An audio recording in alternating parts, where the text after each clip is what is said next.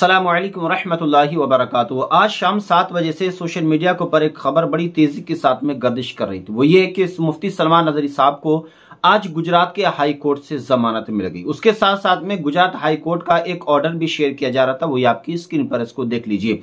इसके अंदर एक रिमार्क्स है, उसको लेकर के हर न्यूज़ चैनल वाला ये दावा कर रहा है कि मुफ्ती सलमान नदरी साहब को बेल मिल गई है। इसके अंदर एक रिमार्क्स क्या है, वो ये है कि इसमें लिखा हो गया फॉर टेम्पररी बेल यानी कि इसी को लेकर के हर न्यूज़ चैनल और यूट्यूबर ये सोच रहा है कि मुफ्ती सलमान नजरी साहब को बेल दे, दे दी गई है और उनको जमानत मिल गई है।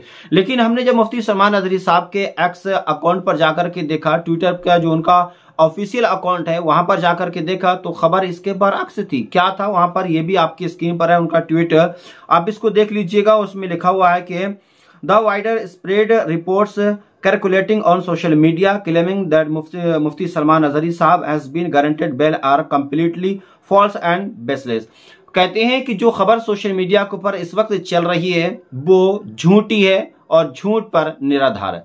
मुफ्ती सलमान नजरी साहब को अभी भी बेल नहीं मिली है, ना ही उनको जमानत मिली है। मुफ्ती सलमान नजरी साहब अभी भी जेल के अंदर बंद है। आज मुफ्ती सलमान नजरी साहब की court high Gujarat high court के अंदर सुनवाई हुई थी, लेकिन वहाँ पर मुफ्ती सलमान नजरी साहब के फैसले को सुरक्षित रख लिया गया। अभी मुफ्ती सलमान नजरी साहब को वहाँ से कोई बेल या जमानत नहीं मिली है। जो खबरें चल रही हैं सोशल मीडिया के ऊपर, वो झूठ पर मबनी है। कोई भी इसमें सच्चाई और सदाकत नहीं है। असलम वरहमल वबरकू